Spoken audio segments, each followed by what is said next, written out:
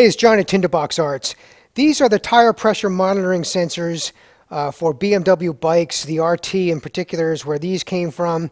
And I did a previous video on how to replace the batteries in these because the batteries don't last forever.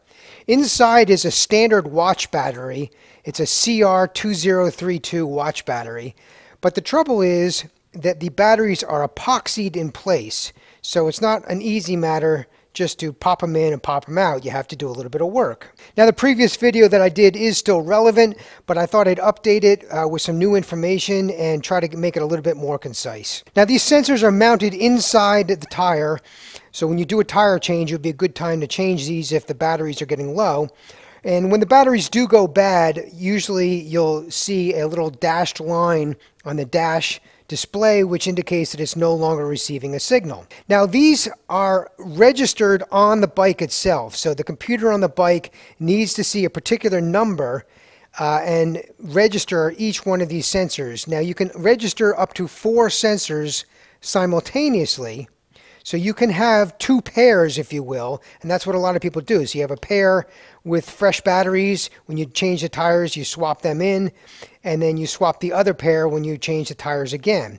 Or you can delete the registered code uh, in the bike for two of them and replace them with new ones if you wanted to as well. These are very expensive from BMW, over $200, which is crazy. Now when you replace the batteries, I recommend getting this style which has uh, tabs that are pre-soldered onto the battery rather than just a standard CR 2032.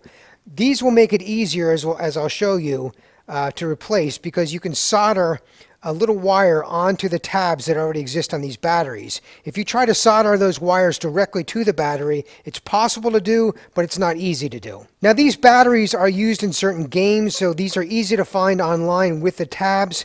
However, uh, this is not a big name brand, it's just some Chinese knockoff. So before you install one of these batteries, I recommend testing it with a meter to make sure it has full voltage. Another thing you're going to need is a GS911 or the Motoscan app with a cable, either one, uh, to register your sensors uh, with the bike computer. Now, if they're already registered, it's not a problem. So if you're taking the old ones out, that came with the bike originally and just replacing the batteries, then you don't need to re-register. However, if you're adding new sensors or different sensors, then you will need to re-register and you need one of these devices to talk to the computer to make that happen. And finally, you need a way to wake these sensors up. Now again, if you're reusing the original sensors, this is probably not necessary, but if you're installing new ones, or sometimes when you're reinstalling the old ones, you need to wake the sensors up. And this is a very inexpensive device to do so. Basically, you just hold the button on, hold it near the sensor, and uh, it will awaken the sensor so that it will communicate with the, the uh, computer on the bike. If you don't do this, it is possible to wake it up in other ways, including just going for a ride after a period or inflating the tire to regular pressure and then rapidly depressurizing the tire. Either one of those can wake these up, but it's not perfectly consistent. So getting a device like this uh, makes it simple and it's not very expensive. Now people report varying experiences with removing this epoxy. Some people find the texture very soft and pretty easy to remove. Other people find the texture very hard and difficult to remove. When I did the previous video, uh, it was very difficult to remove. I really just used a wood chisel, a small one, and just basically scraped away at it layer by layer until I got it down to where I needed it. Another method described by a friend of mine, Steve Campbell, in uh, the UK, uh, is to use heat with a soldering iron or something like that. And he was able to remove it fairly quickly doing that. So we'll try that. And another thing you can think about is using a drill, either a handheld or a drill press, and carefully drilling out uh, the first few layers of this.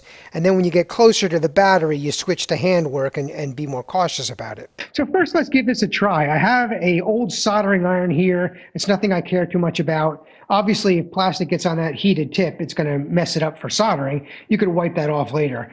But let's just see if anything happens at all. I'm just going to hold this to the uh, epoxy and see what we see. Move slowly uh, the heat does seem to make some difference. That would be easier than trying to scrape this by hand cold. Put the sensor up to a stop like this so you can put a little bit more pressure on it without worrying about your fingers. But again, it's, it's going to be a slow process here.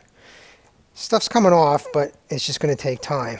So the other thing I would recommend, rather than just sit there forever and doing that, is to take a drill and just drill a series of holes here, not too deep, but enough to get started, and that will really speed the process along. So I've mounted a Forstner style bit in my drill press here. If you've never seen a Forstner bit, a bigger version looks like this. They drill a flat bottomed hole and they're fairly easy to control. In other words, they don't grab and, and bite very easily. So this would be an ideal bit to try to use in this situation. So I have a smaller one mounted in the drill press. And what I can do is hold the sensor here and push it up against the drill bit carefully. And that will give me more control. And it'll also stop it from grabbing and, and, and turning on me if I do catch. So let's give this a shot.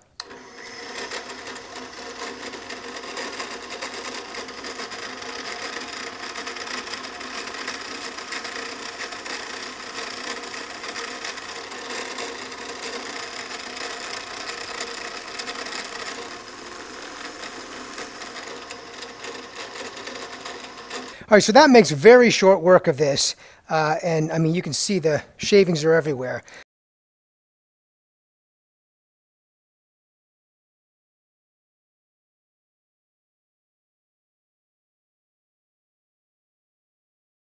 All right, elapsed time has been about five minutes. So I used a combination of the wood chisel to get down. You can see the round battery here now. You can also see where I just started to drill into it.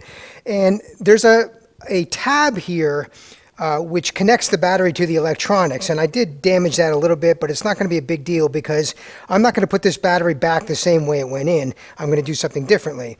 I did go back to uh, the soldering iron, and I found that worked pretty well especially when I just need to remove little pieces around the edge of the battery and I don't want to put too much pressure on it. So uh, thanks to Steve Campbell for that trick because that is working best for me at this stage of the game. So I have a little bit more to do here and now I'm just going to be real cautious as I get to the edge here because I need to pry that battery out and I'll just use a pick to do that when I get a little bit more of this stuff out of the way. Okay, I'm, I'm testing the limits of the camera here but I really need to point this out and it's very, very small. So when I took this battery out, the original battery, there was also a tab on the bottom. And as a result, I pried this area off the circuit board. But don't panic, you can still save this. So this battery is no good, we don't care about that. But what we do care about is getting a battery connection to the circuit board. So we have two connections we have to make this tab right here, which remains, in other words, I was able to save that without much, too much trouble, even though I actually drilled through it a little bit. So that's okay. And then I dug this out a little more, but where the pick is pointing right now is just a little piece of solder right there, right? That's the connection to the circuit board for the battery. So as long as we can get to that, not a big deal, we're going to take a tiny little wire. I'll put some flux on that and I'll solder the wire to that little spot right there and then we'll have a lead we can work with. We don't have to worry about this anymore. Same thing with this tab right here. I'm going to solder a little wire to it uh, and then we have we can work with that wire rather than having to worry about that lead. So if you get a little rough and or you you know slip or whatever and that little tab comes off, don't worry about it. Keep digging and this little thing right here is where we need to attach the wire.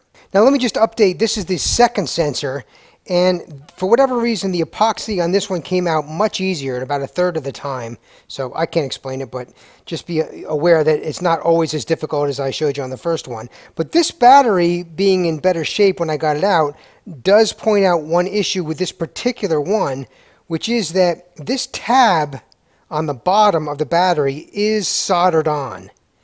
And the top is soldered on as well. So because of that, there's really no way to get this battery out without damaging, you know, where it's connected here to the circuit card. So you're going to have to do the same thing on both of these. Clear out this epoxy here and solder on the wire directly to the circuit card. Now the first two sensors that I did this on my previous video, this was not the case. So there are internal differences uh, between these sensors depending on the year or who made them, I'm not sure what.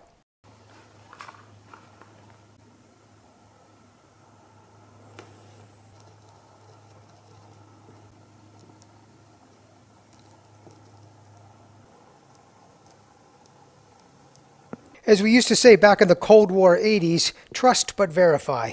Even though this is a new battery, that doesn't mean it's good. So I'm just going to verify that I have full voltage. And we get 3.26, so that's definitely a good battery.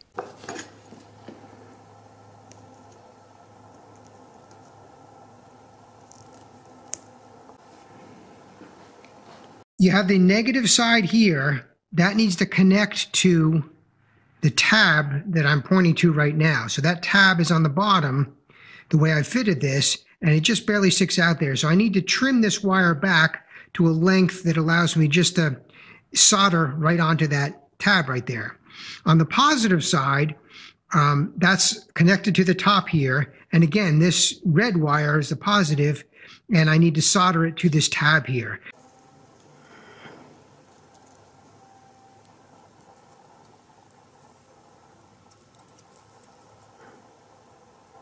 This second one also soldered much easier. Everything went together easier. So what can I tell you? Sometimes you win, sometimes you lose.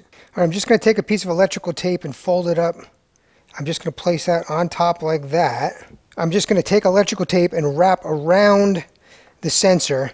And I, there's one special thing you got to understand here. I'm going to show you in a second. Let me just get this started. All right, the new battery is wrapped with electrical tape. On the opposite side, when you turn this over, there's two things you got to understand you, you don't want to cover this metal strip right here or this little port right here. The little port right here is what uh, the sensor uses to measure the pressure, so you certainly don't want to cover that. And this metal strip right here is what the sensor uses to measure temperature, because this sensor does adjust for temperature. So make sure you just leave that uncovered, both of these, with the electrical tape, and you'll be fine.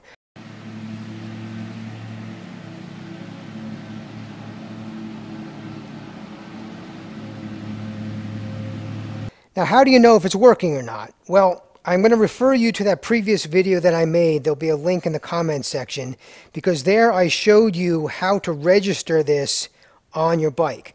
But just so you understand the concept, as long as you have this physically close to the bike, you can test it before you put the tire back on. You use a, either this device or one like it, and that will wake the sensor up and you'll be able to see on your GS911 or your Motoscan app whether it shows up. In other words, it will show up on the screen that it's recognized and registered. If it doesn't, then you may have a problem and you may need to resolder or change the battery or something else.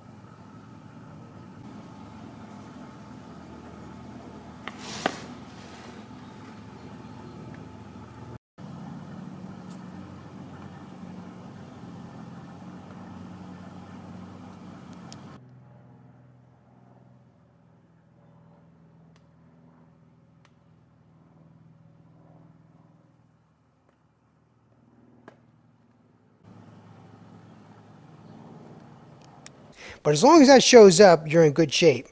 And then when you mount this, um, you know, just be careful not to slice the tape or anything like that. But I've not had any problems long term with this solution.